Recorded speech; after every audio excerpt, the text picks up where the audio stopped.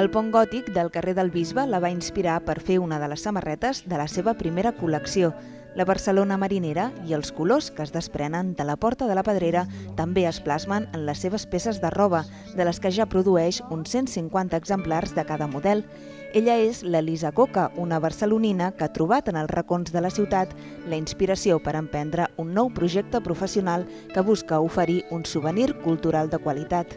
Un dia estàvem passejant per Barcelona, vaig començar a fer fotos, no em diguis per què, doncs amunt, amunt, amunt. I vaig començar a mirar millor Barcelona i vaig veure uns balcons, unes finestres, uns balcons i unes finestres obertes al món. Vaig dir, és Barcelona. El que vull ensenyar, el que vull dibuixar, el que vull mostrar, vull fer petits retrats de Barcelona. Són precisament aquests balcons els que basen les seves properes creacions, que es mesclen amb formes tradicionals japoneses. És un balcó modernista de l'Eixample, concretament del carrer Còrsega, Enrique Granados.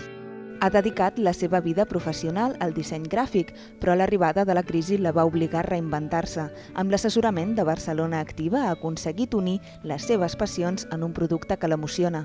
La gent de 40 i 50 jo penso que és terrible, perquè tenen un munt d'experiència, un munt de coses a dir encara, i moltíssima energia i moltíssima il·lusió. El que és segur és que quan vols fer una cosa de veritat i t'agrada de veritat i deixes de costat les pors i et llences, sembla que tot es posa d'acord amb, amb que això pugui ser veritat. En un any, els seus dissenys ja es venen en diverses botigues de la ciutat i el futur assegura, encara està ple de reptes per complir.